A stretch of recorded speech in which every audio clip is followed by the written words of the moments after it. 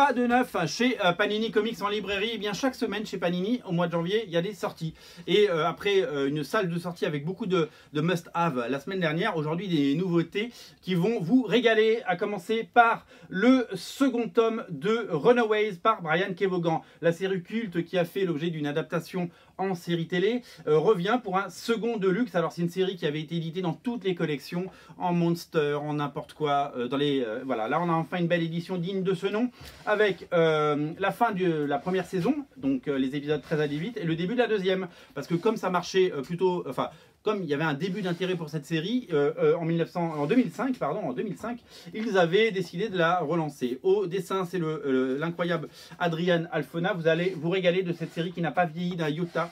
c'est magnifiquement écrit, c'est hyper chouette, le dessin est génial. C'est vous savez, moi je le dis souvent, hein, euh, dans les années 80, 90 et 2000, euh, on attend évidemment pour les années 2000, euh, 2020 ce qui va se passer, mais à chaque fois, chez Marvel, ils ont réussi euh, à, dépeindre la jeunesse et à dépeindre euh, les super-héros de façon géniale. Les nouveaux mutants dans les années 80, Génération X dans les années 90 et ça dans les années 2000, c'est vraiment ce qui a marqué euh, l'histoire. C'est vraiment fabuleux, faut le dire, c'est absolument exceptionnel. Un autre de luxe à ne pas rater par le même auteur, Brian Kevogan. Il a, quand il travaillait pour Marvel et quand il a travaillé pour les X-Men, eh il a fait Mystique. Et, et, là, vous avez les épisodes 1 à 13 de Mystique par Brian Kevogan. Et euh, plein d'auteurs que je vais, euh, que je vais euh, évidemment vous lister. Les couvertures sont signées Joe Listener.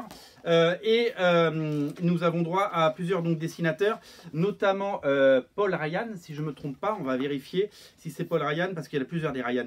Michael Ryan, pardon, c'est pas Paul Ryan, George Lucas, mais qui n'a rien à voir, c'est Jorge Lucas, et Manuel Garcia qui a fait les épisodes 11 et 12. Voilà, donc comme à chaque fois avec Vaughan, c'est très bien écrit. Vraiment, c'est à découvrir. Euh, vous allez euh, adorer cette euh, série et qui a enfin droit à un beau format. Alors, je ne sais pas si vous savez, mais cette semaine, sur Disney+, est diffusé le premier épisode de WandaVision.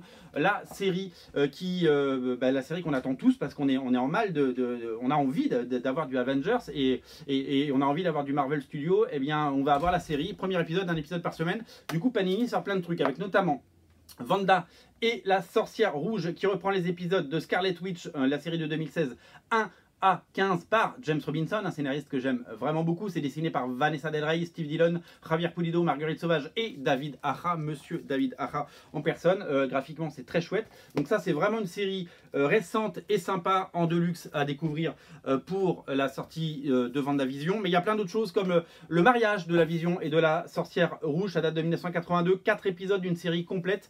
on est vraiment dans les... là, on est dans, on est dans le vintage. On est dans les choses hyper intéressantes. la Vision et la Sorcière Rouge, euh, Bill Mantlo et Steve euh, Egelhart, pardon, dessiné par Rick Leonardi. Euh, ouais, Rick Leonardi déjà à l'époque. nous avons en petit format pas cher Vanda à 6,95. regardez, un petit format. Vanda et la vision avec évidemment plein de récits différents de différentes époques par des grands auteurs. ça, ça permet de découvrir la série et les personnages. Voilà, donc chez Panini, on accompagne évidemment la sortie comme il se doit de Vision de la sorcière rouge. Ne ratez pas euh, le deuxième tome de Deadman euh, Logan, les épisodes 7 à 12 dans la collection 100%. Euh, ne ratez pas Spider-Man, le casse de Black Cat, c'est la série Spider-Man The Black Cat 1 à 5 par Dennis Hopeless Alum et Luca euh, Maresca, voilà. Ne ratez pas euh, Silver Surfer, démon intérieur, c'est dessiné par l'incroyable Ron Garnet sur un scénario de JM de Mathéis. C'est du old school, mais c'est super euh, chouette, avec évidemment le Silver Surfer d'Ardeville et les autres. Et au rayon des intégrales, ne ratez pas déjà l'intégrale 1995 avec les épisodes qui suivent bien entendu l'ère d'Apocalypse, pardon, dessiné notamment par Andy Kubert et Joey Madureira. Ne ratez pas le Black Panther 1989 avec Gene Colan aux manettes, ça, ça va être absolument magnifique. Et le Marvel Twin One présente la chose, la euh, Légion de la Liberté 1975-1976 euh, par des auteurs comme Bill Mantlo, euh, Roy Thomas et John Bushma. Voilà pour les intégrales. Eh ben, c'est tout pour aujourd'hui. Il y a quand même une belle sélection de titres. Régalez-vous sur les Deluxe, Runaways, bien entendu, Vanda et la sorcière rouge et bien entendu Mystique que je vous invite à découvrir tout ça, c'est sur originalcomics.fr. Salut